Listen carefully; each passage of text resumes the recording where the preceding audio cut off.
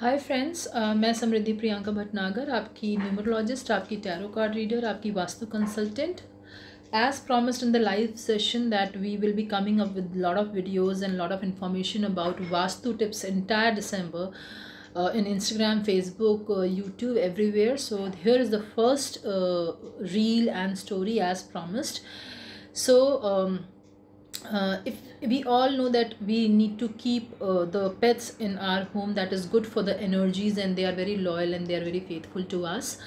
what is the best direction जहाँ हम अपने पेट्स के हाउसेस को या फिर उनके जो जो जो भी आप रखते हैं जैसे डॉग हैं तो उनके उनके किटन लगाते हैं, या फिर रैबिट है, या टॉटाइज है, आप हर चीज़, कुछ हर बंदा कोई ना कोई पेट्स रखना ज़रूर चाहता है। So what is the best direction for any of the pet which are need to be inside it first of all let's know कि कौन से पेट्स को हमें घर में नहीं रखना चाहिए। Any of the bird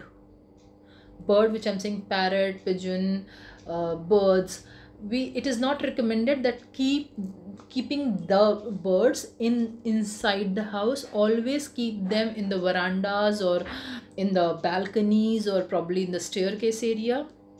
ये बहुत इंपॉर्टेंट है। ये आपको अपने घर में नहीं रखना चाहिए। Because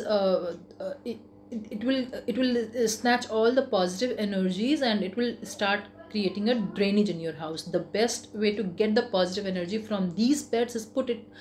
keep it into the outside balcony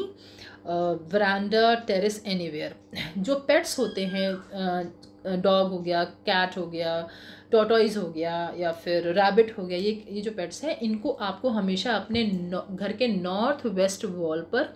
या फिर नॉर्थ डायरेक्शन में रखना चाहिए. They will start creating a new and positive energy in your life don't keep their house और देयर टब्स और anything centre in the house centre के बीच में नहीं रखना है. It should always be north और नॉर्थ वेस्ट वॉल इनका होना चाहिए.